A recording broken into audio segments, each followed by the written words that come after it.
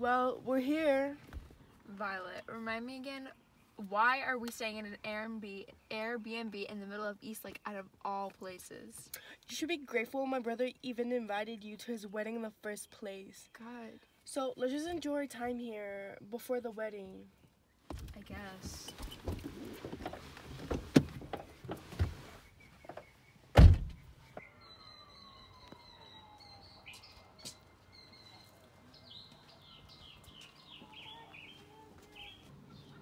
It says here that the key is under the mat. Huh, that's real safe.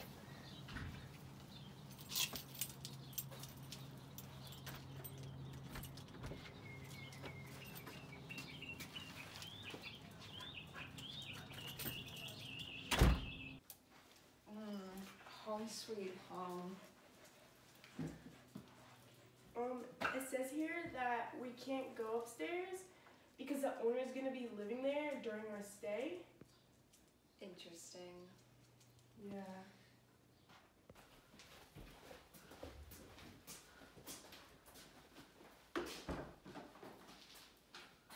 It's stuck in here. I'm gonna open a window. Okay.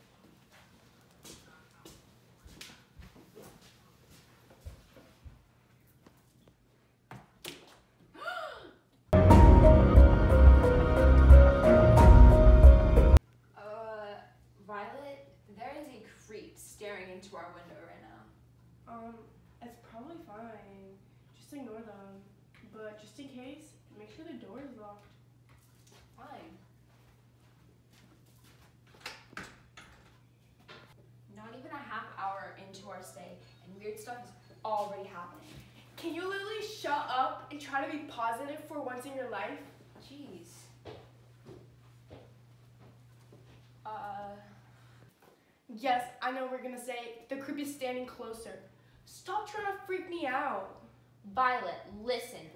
Look.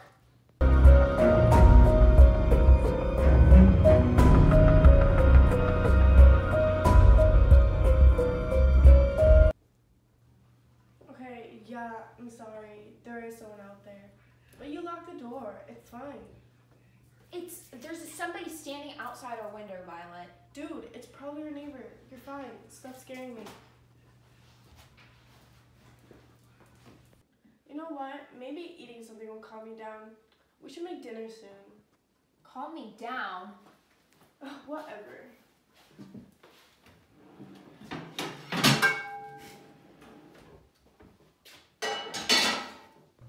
The owner told us we could eat anything we want, but there's literally nothing good in this fridge.